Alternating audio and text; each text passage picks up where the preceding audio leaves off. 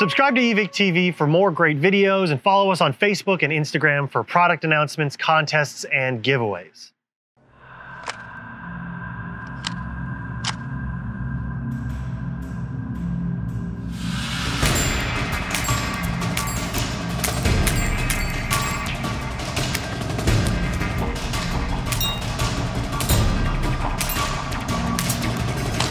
The Type 14 Nambu pistol was adopted by the Imperial Japanese Armed Forces in the 14th year of the reign of Emperor Taisho.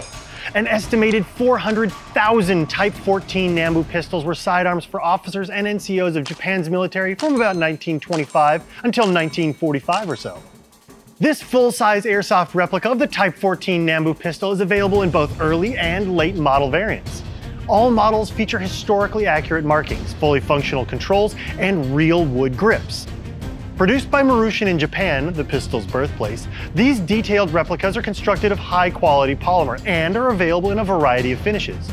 With an 11-round magazine, these functional airsoft replicas feature an adjustable hop-up and realistic blowback action. Additional magazines are available for enthusiasts wishing to use these historical replicas on the battlefield. You can find the Marushin Type 14 Nambu pistol in all its variations at evike.com.